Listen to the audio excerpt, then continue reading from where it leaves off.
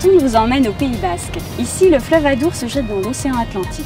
Vous le savez, des polluants issus des activités humaines sont mêlés à ces eaux. Quels sont ces polluants? D'où viennent-ils? Que deviennent-ils? Tout un groupe de chercheurs que vous allez rencontrer aujourd'hui s'est fédéré pour répondre à ces questions. Ils sont physiciens, chimistes ou biologistes et tentent d'apporter la vision la plus claire au devenir des micropolluants.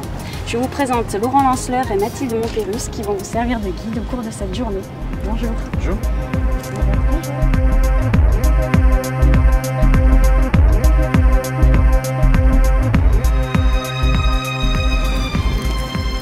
sur le milieu littoral. Alors le milieu littoral, c'est un système d'interface entre le milieu continental et le milieu marin. Ce sont en général des zones assez sensibles et vulnérables. Elles combinent souvent une forte euh, urbanisation avec des activités économiques, touristiques, euh, industrielles et portuaires. Et du point de vue de la biologie, ce sont des zones aussi très importantes. Ce sont des zones à forte biodiversité qui sont bien souvent des zones de reproduction et euh, de croissance pour de nombreux organismes aquatiques. Et l'étude des contaminants euh, et de l'impact de ces contaminants sur ces espèces est primordiale pour un développement durable. Les micropolluants, ce sont des substances chimiques à l'état de trace, c'est-à-dire à des concentrations très très petites. on peut les classer en deux familles, les contaminants inorganiques, comme les métaux par exemple, et les contaminants organiques, comme les hydrocarbures ou encore les pesticides. Donc il faut savoir qu'il y a environ 130 millions de molécules chimiques qui existent. Sur ces 130 millions de molécules, il y a environ 100 000 molécules qui sont euh, utilisées à plus d'une tonne par an en Europe. Et il faut savoir aussi qu'il existe une loi qui s'appelle la directive cadre sur l'eau, qui est une loi européenne qui réglemente 45 substances qui sont appelées aussi des substances prioritaires. Donc ces substances prioritaires sont réglementées euh, du fait de leur toxicité, de leur impact néfaste pour l'environnement. Donc à côté de ces substances prioritaires, il faut savoir aussi qu'il y a des micropolluants dits émergents. Donc ce sont des molécules qui ne sont pas encore réglementées et pour lesquelles on a encore un manque de connaissances. On ne connaît pas réellement leurs effets et leur impact sur les écosystèmes. Dans le programme de recherche micropolite, on s'intéresse à la fois aux polluants prioritaires, mais aussi aux polluants émergents. Parmi ces polluants émergents, on travaille notamment sur des produits pharmaceutiques, mais aussi des produits synthétiques odorants qu'on utilise dans nos produits de soins, dans nos shampoings et nos gels douche, dans nos détergents, comme aussi les alkylphénols, ou encore d'autres molécules comme les écrans solaires. Dans le programme de recherche micropolite, on s'intéresse à déterminer les sources de ces micropolluants, mais aussi à essayer de mieux comprendre comment ils vont se comporter dans le milieu et surtout à évaluer leurs impacts sur les écosystèmes et sur les organismes. L'étude des micropolluants dans l'environnement se base sur des observations de terrain, sur des expérimentations de terrain, mais aussi sur des expérimentations au laboratoire. Dans le cadre du projet de recherche micropolite, nous nous intéressons à trois sites ateliers de la façade littorale sud-aquitaine. L'estuaire de l'Adour, le gouffre de Cabreton au nord et la zone euh, littorale sud-Pays Basque. L'ensemble euh, de ces sites euh, connaît une pression anthropique, c'est-à-dire liée à l'homme, et cette pression est d'origine agricole, industrielle ou encore domestique.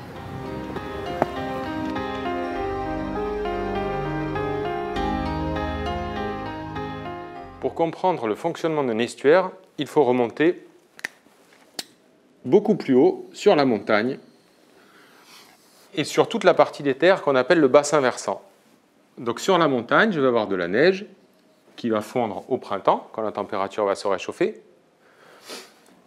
Et sur toutes mes plaines, donc toute cette partie-là, on appelle ça le bassin versant. Pourquoi? Ben, C'est l'endroit qui va recueillir les pluies. Donc quand il pleut et que la neige fond, ça va venir gonfler petit à petit ma rivière qui va à terme venir alimenter l'océan. Cette rivière transporte beaucoup de choses. Elle transporte de l'eau, mais elle transporte des matières en suspension. Donc c'est ce que vous avez sûrement dû voir quand vous vous penchez au-dessus d'une rivière après un fort événement de pluie. C'est très turbide, c'est-à-dire qu'on voit que l'eau n'est pas claire, elle est très chargée en sédiments. Donc je vais avoir toutes mes petites particules qui sont promenées par la rivière. Mais la rivière transporte aussi toute une série de produits biologiques et chimiques qui peuvent être naturels ou synthétiques. Par exemple des bactéries, où on va retrouver euh, tous les produits qui pourront être euh, introduits par l'homme. Donc ces produits, ils peuvent être transportés ce qu'on appelle en phase dissoute, c'est-à-dire qu'ils sont dissous dans l'eau, ou en phase particulière, ils s'accrochent, ils vont venir s'accrocher sur chacune des petites particules qui est en suspension. Alors quand il pleut beaucoup, ou que la neige fond très fort, qu'est-ce qui se passe? Ma rivière, elle va gonfler. Elle va gonfler et je vais avoir un débit beaucoup plus important. C'est ce qu'on appelle la crue. Donc dans ce cas-là, le courant est tellement fort qu'il va venir arracher des particules sur le fond. Donc je vais avoir davantage de matière en suspension. Et lorsque le courant va être plus faible, pendant ce qu'on appelle les périodes d'étiage, typiquement en fin d'été, quand il n'y a pas plu depuis longtemps, le niveau va être très bas, le courant très faible, et là, mes petites particules vont devenir des sédiments et vont avoir tendance à se déposer sur le lit. Ça, c'est le fonctionnement de ma rivière. Alors, je vais faire un zoom maintenant sur mon embouchure. Donc ici, j'ai la rivière avec de l'eau douce qui arrive du bassin versant. Ici, j'ai mes eaux océaniques qui sont plus lourdes parce qu'elles sont plus salées, comme je viens de vous l'expliquer. Et dans l'océan, j'ai l'influence de la marée. On va avoir des périodes où le niveau d'eau va être plus haut, des périodes où le niveau d'eau va être plus bas. Et ça, ça alterne en fonction euh, des cycles de la Lune. Qu'est-ce qui se passe quand le niveau d'eau va monter dans l'océan? J'ai des eaux plus salées, que je vais vous dessiner ici en rouge. Petit à petit, ce niveau va monter. Donc les eaux salées vont rentrer dans l'estuaire. Comme elles sont plus lourdes, elles vont rentrer au fond. Et on appelle ça un coin salé. Donc j'ai le courant d'eau douce qui va s'inverser, qui va d'abord ralentir, pardon, et puis qui après va finir par s'inverser quand je vais être à marée haute. Je vais avoir mon estuaire qui va être complètement rempli d'eau salée. Alors évidemment, tout ça c'est une compétition entre la force du débit et la force de la marée. Quand j'ai une période de crue avec un débit très fort, je vais toujours avoir de l'eau douce qui va réussir à s'écouler. Quand j'ai un petit débit, l'eau salée va pouvoir remonter très haut dans mon estuaire.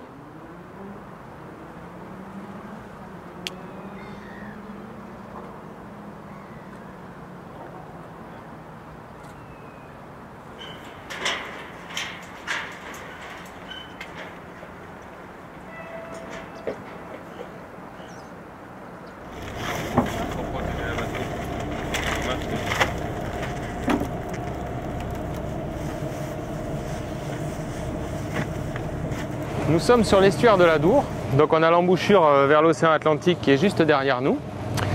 On est à bord du bateau Ingénieur Lesbord, euh, qui appartient à la région Nouvelle-Aquitaine et domicilié au port de Bayonne. Et ce bateau va nous permettre de faire une série de mesures pour comprendre le fonctionnement de l'estuaire de la Dour.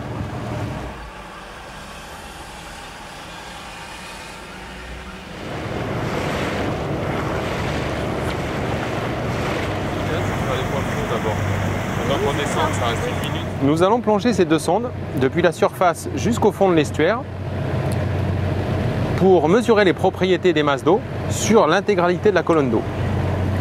Ce qui va nous permettre à terme de comprendre comment sont transportés les contaminants en phase dissoute ou en phase particulière.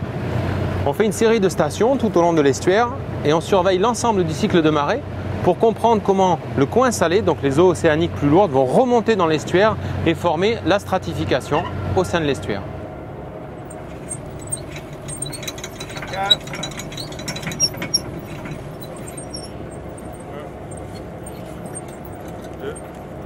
Avons ici deux sondes qui nous permettent de mesurer différents paramètres de la colonne d'eau.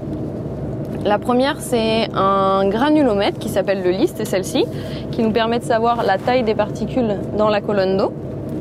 La deuxième sonde, elle nous permet de caractériser la colonne d'eau par différents paramètres, comme la conductivité, qui permet de nous savoir la salinité de l'eau, la température, la profondeur, et différents paramètres tels que le pH, la quantité de chlorophylle dans l'eau et la turbidité.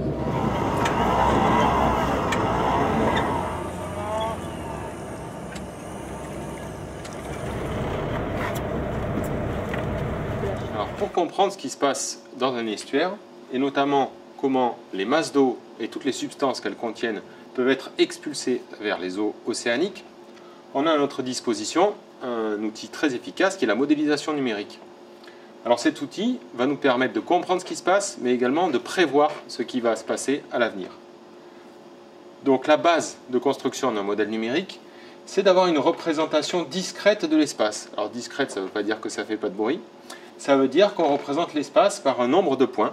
Et en chacun de ces points, on va calculer les équations de la mécanique des fluides. Donc comme un ballon de foot ou une pomme qui tombe, toutes les particules de fluide, elles sont soumises à un ensemble de forces. Et en chacun des points de ce domaine, on va calculer l'ensemble de ces forces et la résultante qui est l'accélération et qui va nous dire vers où va se déplacer, vont se déplacer nos particules. Donc ici, on a une représentation de la côte basque. Vous voyez, cette partie-là, c'est la Dour. Ici, c'est la Nive. Ces couleurs représentent la profondeur. Donc ici, on voit le gouffre de Cabreton qui est très profond. Et à proximité des côtes, des côtes euh, la profondeur est toujours de l'ordre de 50 mètres. Maintenant, si je regarde ce qui se passe après avoir fait tourner mon modèle numérique. Ici, j'ai un modèle d'estuaire, donc j'ai zoomé sur la partie de l'embouchure de la Dour. Ce que nous voyons ici, c'est des cycles de marée successifs, donc le niveau d'eau océanique monte et descend, et les eaux océaniques sont plus salées. La salinité est représentée en rouge. Et à l'intérieur de l'estuaire, ce qu'on voit en bleu clair, ce sont les eaux fluviales, donc qui sont douces, moins salées.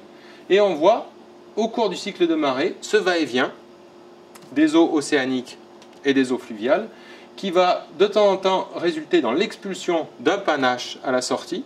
Alors ça, encore une fois, c'est la compétition entre le débit de la rivière qui rentre et euh, la force de la marée.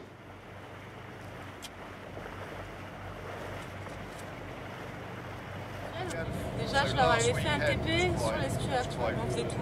En plus des paramètres qui vont être mesurés directement par ces deux sondes, nous effectuons une série de prélèvements d'eau dans l'estuaire et les échantillons vont ensuite être analysés en laboratoire.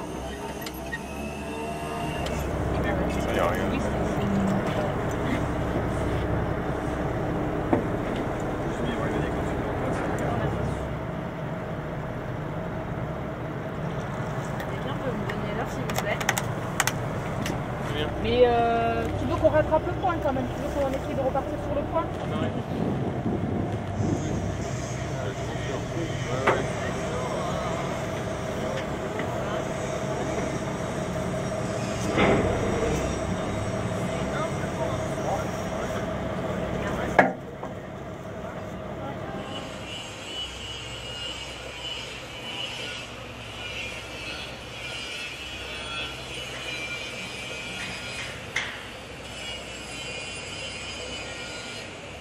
Je viens de récupérer les échantillons à analyser que je vais directement amener au laboratoire euh, pour les filtrer.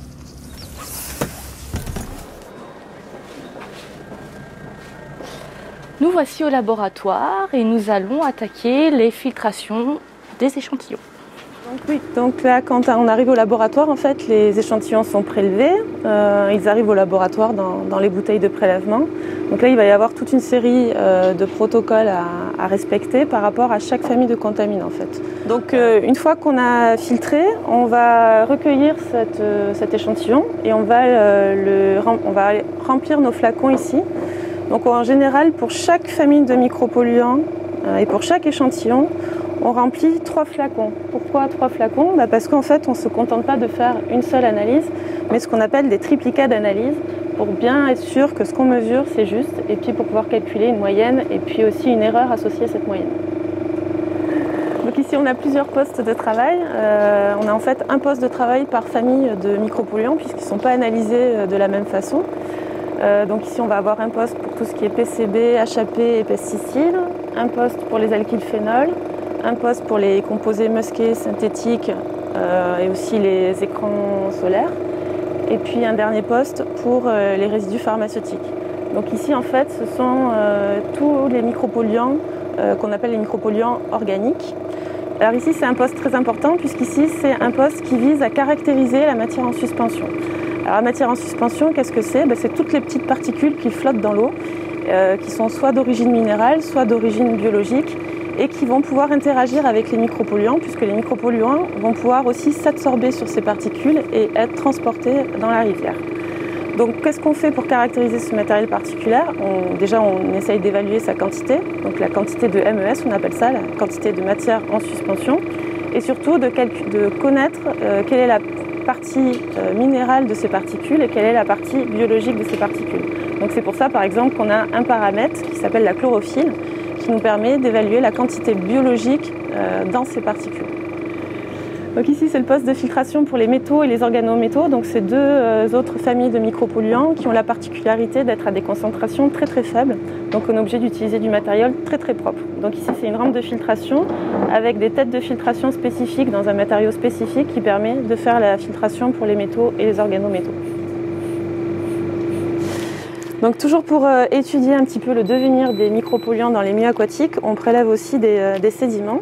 Et dans ces sédiments aussi, on va réaliser les analyses de micropolluants. Donc on dit souvent que ces sédiments, ce sont des pièges à micropolluants. Donc c'est pour aller voir un petit peu comment sont piégés et transformer les micropolluants au sein de ces sédiments.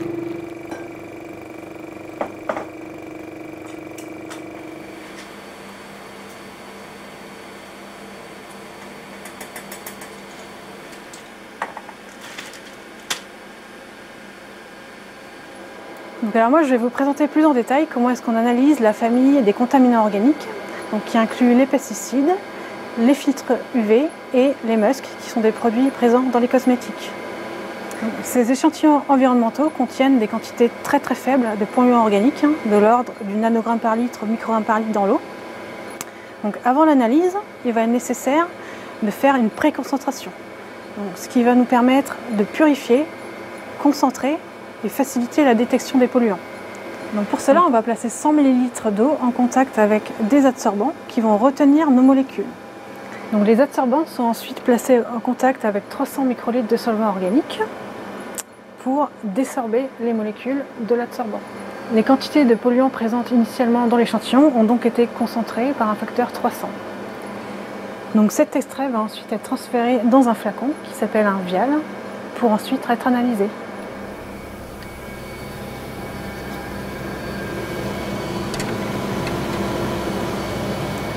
La chromatographie en phase gazeuse couplée à un spectromètre de masse est une technique qui permet de séparer, de détecter et d'identifier les constituants d'un mélange. l'échantillon est injecté, volatilisé dans l'injecteur, ce qui signifie passer de phase liquide à phase gazeuse, et il est ensuite entraîné par un gaz vecteur à l'intérieur d'une colonne capillaire de 30 mètres. cette colonne capillaire contient une paroi interne s'appelle une phase stationnaire. Plus les interactions physico-chimiques entre nos molécules et cette phase stationnaire vont être fortes, plus nos molécules vont être retenues. À la sortie de la colonne, les molécules vont ensuite rentrer dans le spectromètre de masse, dans lequel elles vont être ionisées et séparées selon leur rapport masse-surcharge. Donc on obtient un chromatogramme qui représente nos molécules en fonction de leur temps de rétention. Cette technique nous permet de séparer une vingtaine de pesticides et au total une soixantaine de molécules. Tout ce protocole de préparation et d'analyse nous permet d'atteindre et de quantifier des concentrations de l'ordre du nanogramme par litre, ce qui correspond à rechercher une goutte d'eau dans une piscine olympique.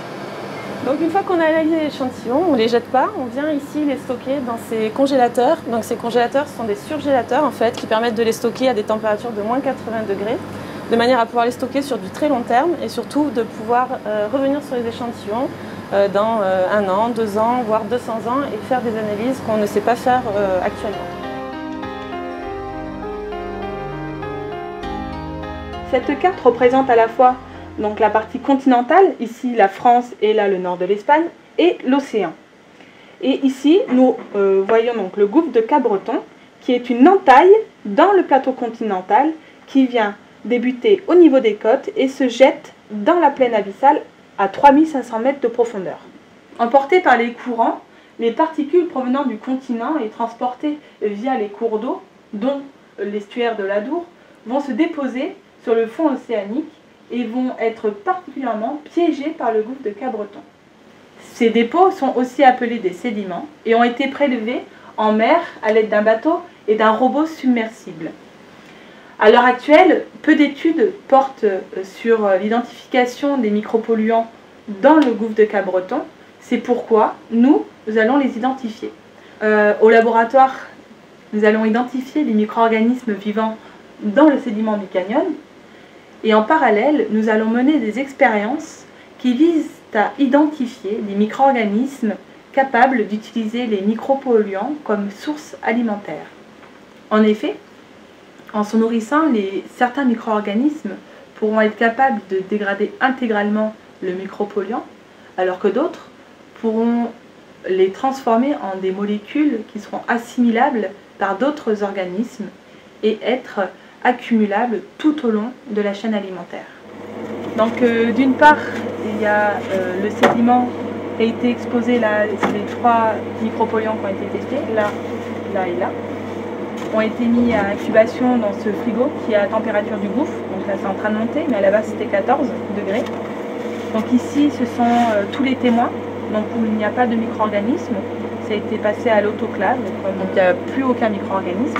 Alors qu'ici, nous n'avons rien fait, nous avons juste mis, le micropolluant et euh, ça sur une durée de trois mois. Donc euh, là, on arrive à la fin de, l'expérience. Et euh, plus tard, nous allons identifier donc des micro-organismes qui ont été capables d'utiliser le micropolluant comme source alimentaire.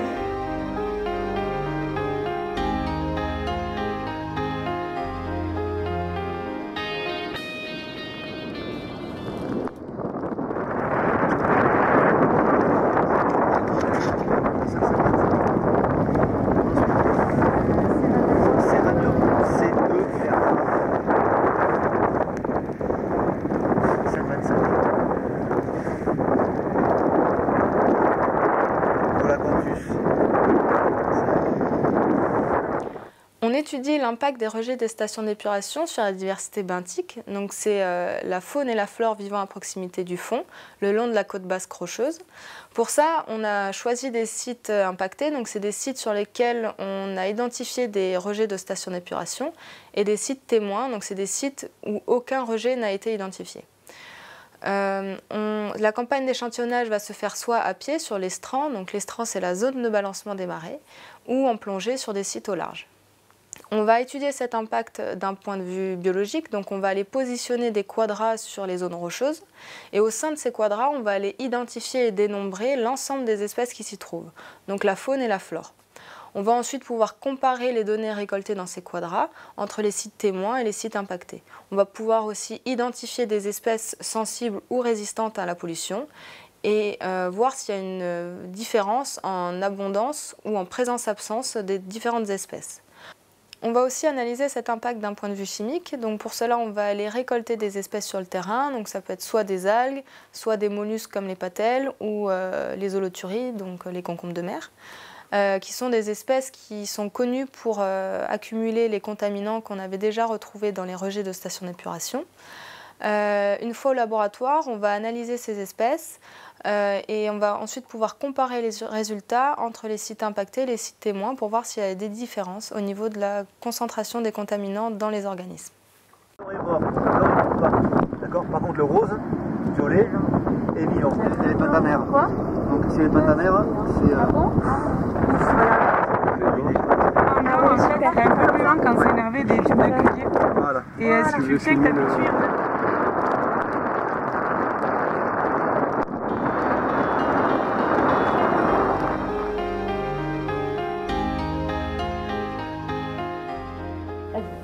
Donc l'objet du, projet Micropolite, c'est d'observer,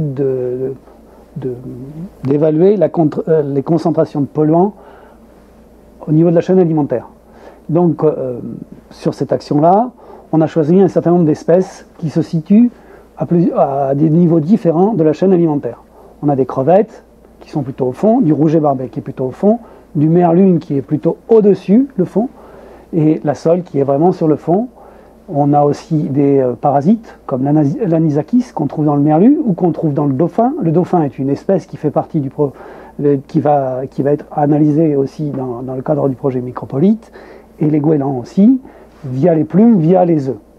Euh, voilà. L'idée étant de voir comment dans un milieu, dans un écosystème, des polluants peuvent se disperser et se concentrer. Donc parmi les espèces qui ont été retenues dans le projet micropolite, on a le rouget barbé de roche qui est un poisson qui vit au ras du sol et qui se nourrit dans la vase. D'accord? La première opération qu'on réalise sur chaque poisson, c'est la mesure du poisson en millimètres. Ensuite, on les pèse en grammes Ensuite, on les sexe, on les ouvre, on cherche les gonades, ou les testicules, ou les ovaires. Ensuite, les, les gonades sont prélevées, pesées individuellement. Donc le foie est prélevé, il est prélevé parce qu'il a la particularité de concentrer un certain nombre de produits, et notamment les polluants. On ouvre la boîte crânienne du poisson, on prend les otolithes. Les otolithes, c'est un peu la boîte noire du poisson. Avec les otolithes, on peut savoir l'âge d'un poisson et on peut aussi reconstituer une partie de sa vie, et notamment les périodes où il a concentré des polluants. Donc pour finir, on prélève aussi les muscles parce que les muscles concentrent aussi des polluants ou concentrent d'autres substances chimiques.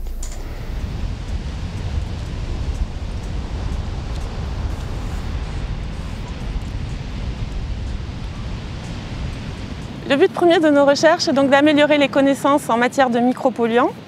Il reste encore beaucoup de choses à faire, notamment en essayant d'améliorer les techniques d'analyse pour aller rechercher ces micropolluants dans les différents compartiments environnementaux et aussi de mieux connaître leur réactivité et leur devenir dans les écosystèmes. L'étude de ces contaminants dans des milieux naturels nous permet de connaître la capacité d'auto-épuration de ces systèmes. Et euh, les études expérimentales qui sont menées en parallèle nous permettent de développer de, nouveaux moyens de traitement des eaux usées. Euh, le premier levier euh, pour la réduction de l'impact de l'homme sur son environnement reste le consommateur.